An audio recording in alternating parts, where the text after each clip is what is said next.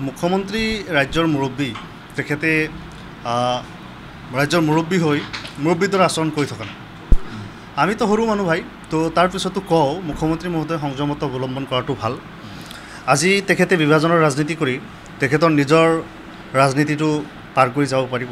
কিন্তু সমাজখনক পাৰ্মানেণ্টলি যদি এনেকুৱাকৈ বিভাজনত ঠেলি দিয়ে এয়া সুদূৰ প্ৰসাৰী অৰ্থাৎ দীঘলীয়া সময়ৰ পিছত ইয়াৰ ফলাফলটো ভাল নহ'ব।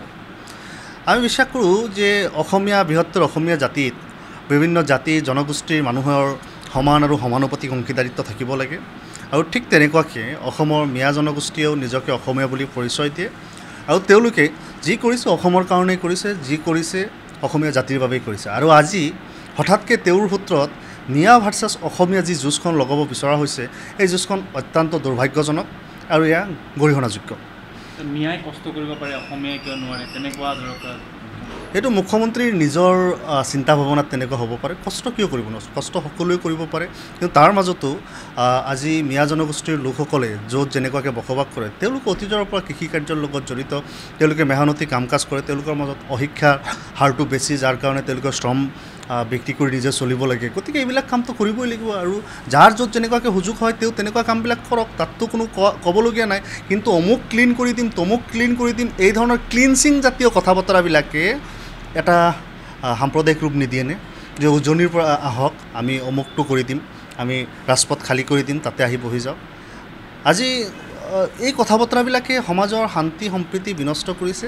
আৰু আজি যদি চাই মই বিশেষভাৱে মুখ্যমন্ত্ৰী মহোদয়ক অনুৰোধ কৰিম যে আপোনালোকৰ চেনেলতে সৰ্বসাধাৰণ ৰাইজে যিখিনি ৰিয়েকশ্যন দি আছে আপুনি যদি সেইখিনিও মুখ্যমন্ত্ৰী মহোদয়ে চায় তেনেহ'লে গম পাব যে তেওঁৰ কথা বতৰাবিলাক মানুহে কেনেকুৱাকৈ লৈছে।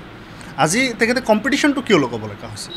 আজি আজি যদি মিয়া মানুহে যদি মেডিকেলত ছিট পালে তেওঁৰ প্ৰব্লেম মিয়া মানুহে ভালকৈ পঢ়িলে প্ৰব্লেম যদি ফুটপাথত কাম কৰি খালেও প্ৰব্লেম শ্ৰম কৰিলেও প্ৰব্লেম সমস্যাটো ক'ত নাই এই বিষয়টো তেওঁক ক'ব লাগে।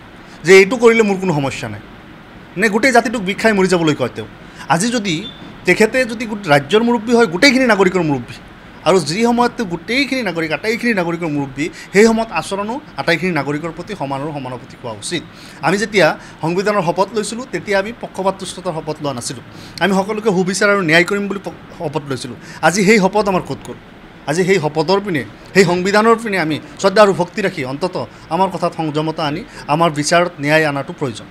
মিয়াক বাৰে বাৰে তেতিয়া ঠাট্টা কিয়? মানে ধৰক বাৰে বাৰে শ্ৰম কৰি থাকে শ্ৰম কৰে তাৰ পাছতো ঠাট্টা কৰা হয় বাৰে বাৰে। এইটো তেওঁলোকৰ সমস্যা।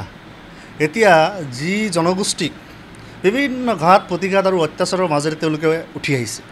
আজি এওঁলোকে শ্ৰম কৰি খাইছে আৰু শ্ৰম কৰি খোৱা এটা শ্ৰমজীৱী জনগোষ্ঠীক এনেকুৱাকৈ নিষেধ কৰাৰ কাৰণে যি ধৰণৰ ষড়যন্ত্ৰ চৰকাৰীভাৱে আৰম্ভ হৈছে ৰাজ্যৰ বনমূৰীয়াৰ পৰাই আৰম্ভ হৈছে এয়া অত্যন্ত দুৰ্ভাগ্যজনক। এখন গণতান্ত্ৰিক ৰাজ্যৰ কাৰণে আৰু গণতান্ত্ৰিক দেশৰ এটা ৰাজ্যৰ কাৰণে এই খবৰ খুবেই দুৰ্ভাগ্যজনক আৰু অসাংবিধানিক। আৰু এই কথা বতৰাবিলাকে আমাক কেইবাটাও বিৰূপ প্ৰভাৱ পেলাব। এক নম্বৰ বিৰূপ প্ৰভাৱটো হৈছে যে ভৱিষ্যতে এই সমাজখন পাৰ্মানেণ্টলি মানুহৰ মাজত দূৰত্বটো বাঢ়ি যাব নেকি বিভিন্ন জাতি জনগোষ্ঠীৰ দুই নম্বৰ কথাটো হৈছে যে দেশে আৰু বিদেশে আমাক কেনেকুৱাকৈ জানিব? যদি ইয়াতে দেশ আৰু বিদেশে জানে যে ইয়াতে সাম্প্ৰদায়িক বাতাৱৰণ সৃষ্টি হৈছে ইয়াতে ৰাজ্যৰ খুদ মুৰব্বীয়ে হিন্দু মুছলমানৰ ৰাজনীতি কৰে আৰু তেখেতে মুছলমান মানুহখিনিক ক্লিন কৰিব বিচাৰে সেই কথা বতৰাবিলাক যেতিয়া বাহিৰত যাব তেতিয়া ক'ব যে অসম ৰাজ্যৰ মুখ্যমন্ত্ৰী জেন'ফবিয়াই খেদি ফুৰিছে।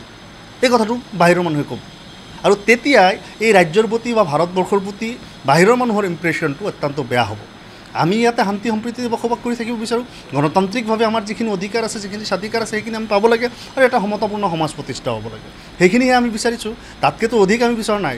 আজি চাৰিও পিনৰ পৰা যেতিয়া টেটু চেপা দিব তেতিয়া এটি সৰু জনগোষ্ঠী দুৰ্বল জনগোষ্ঠী অসমৰ এই পৰিৱেশত জীয়াই থকাটোৱে টান হ'ব।